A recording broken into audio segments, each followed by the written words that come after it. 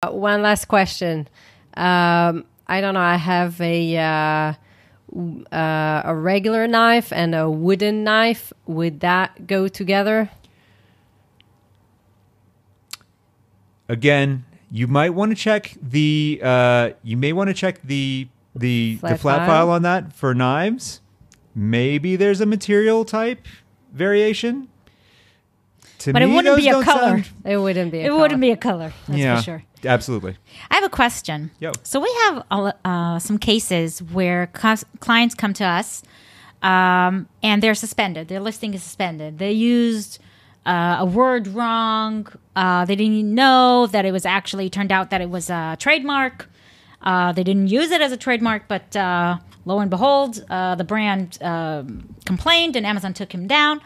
Uh, they want to create, to change and edit. They have no problem removing that word. Um, they come to editing listing on the Seller Central, and it's gray, and it won't. You can't. You you set, you do save, but nothing happens.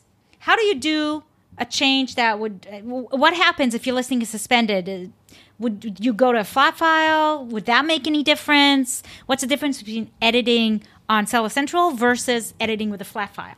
When you edit in Seller Central, it's it's considered a partial update. They you will put it in, but especially if the listing is down, if you can edit it if it's down, um, it, it won't necessarily be seen on the back end.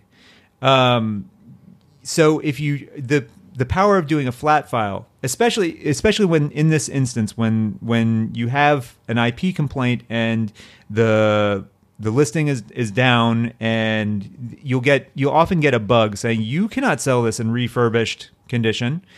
That has been something that's been pretty consistent over the years. The first time I saw it, I was like, "But, but we're not trying to sell it in refurbished format." Um, you're just basically blocked from editing through Seller Central. So the best way to to deal with that is to do a full update via a flat file. Um, and once you do that, you won't be able to see the changes, but they will be able to see it on the back end. They'll give you a nice is Amazon.